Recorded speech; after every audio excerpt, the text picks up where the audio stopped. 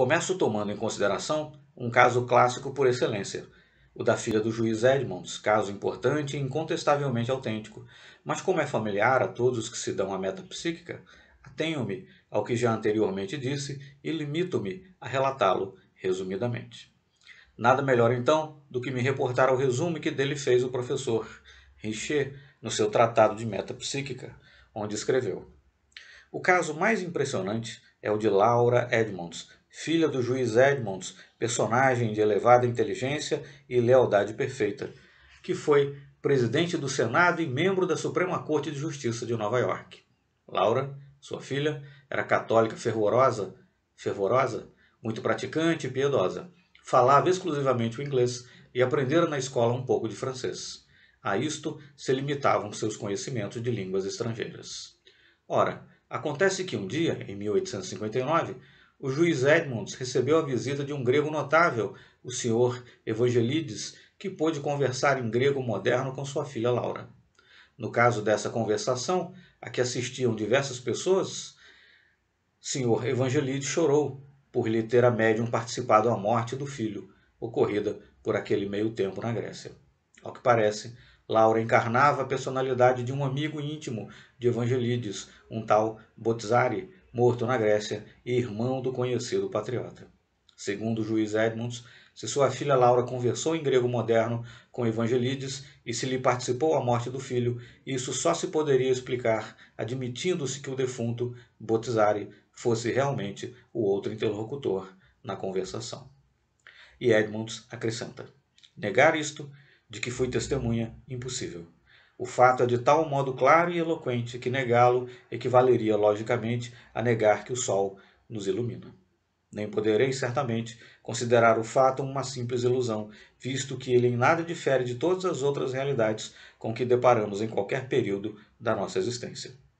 Acresce que tudo se passou na presença de oito ou dez pessoas cultas e inteligentes. Nenhuma delas vira jamais o Sr. Evangelides, que me for apresentado por um amigo naquela mesma noite. Como, pois, há podido Laura participar-lhe a morte do filho? Como se explica que haja falado e compreendido o grego, moderno, o grego moderno, língua que nunca ouvira falar? Assim se exprimiu o juiz Edmonds, e devemos convir em que, transcorridos setenta anos desde aquele dia, e malgrado aos enormes progressos realizados no campo das pesquisas metapsíquicas, ninguém estará apto a responder a essas interrogações, dando uma explicação diversa da que ele apresentou e segundo a qual o fenômeno produzido implicava necessariamente a intervenção do defunto amigo do consultante. Cumpre, por fim, se complete o resumo do professor Richer, ponderando que se o incidente de Evangelides é o mais notável de quantos se deram com a mesma médium, em grande conta precisa levar-se que esta, noutras circunstâncias, conversou em oito ou dez línguas diversas, informa o juiz Edmonds. Minha filha apenas conhece o inglês e um pouco de francês. Tem, no entanto, conversado em francês, grego, latim, italiano, português, polonês, húngaro, assim como em várias, vários dialetos indianos. Frequentemente não compreende o que diz, mas o consulente lhe compreende sempre as palavras. A ninguém escapará o alto significado que se encontra implícito no fato de a médium não compreender, quando em vigília, a significação das palavras que seus lábios automaticamente proferiam, fato que demonstra positivamente achar-se ela nessas ocasiões em fase parcial de possessão mediúnica, durante a qual uma entidade espiritual extrínseca se servia da sua faringe para exprimir-se. Esta a única solução racional do enigma, visto que a hipótese das personificações subconscientes, combinada com a da criptomnésia, não resiste em frente à circunstância de um médium não compreender a língua em que conversa, em que conversava. Poderiam objetar-se, objetar-me que quando a criptomnésia provoca a imersão de frases em línguas ignoradas, ouvidas ou lidas distraidamente pelo sensitivo, também aí este não compreende as frases que pronuncia ou escreve. É exato, mas trata-se de fragmentos de frases incoerentes, destituídas de qualquer relação com situações do momento, o que nada tem de comum com o fato de o sensitivo conversar racionalmente numa língua que não compreende.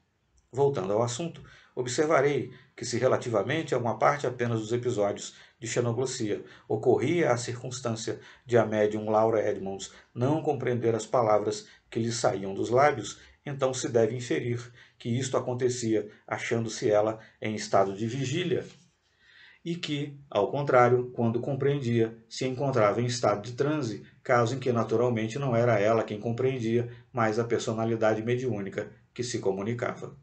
Finalmente, resultará instrutivo comparar-se o caso de Laura Edmonds com outros análogos narrados por antigos magnetólogos que não sabiam explicar o fato extraordinário dos seus sonâmbulos, quando em transe, interrogados em latim, grego e hebraico, tudo compreenderem e responderem corretamente, ao passo que, além de não se mostrarem aptos a formular uma resposta nas línguas em questão, também não conheciam o significado dos vocábulos empregados nas perguntas a que tinham respondido.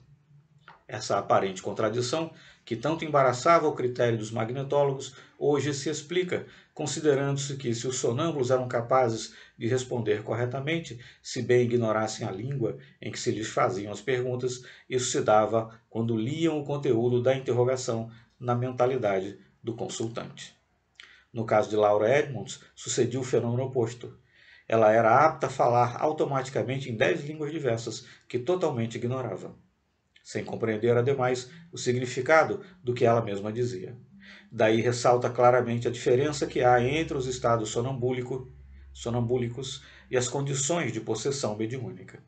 Quer dizer também que, no primeiro caso, a faculdade supranormal da leitura do pensamento tornava apto o sonâmbulo a compreender perguntas formuladas em línguas que desconhecia, mas que não existia na sua subconsciência nenhuma faculdade capaz de fazê-lo conhecer o que nunca aprendera, decorrendo daí que não podiam exprimir-se em línguas que ignoravam.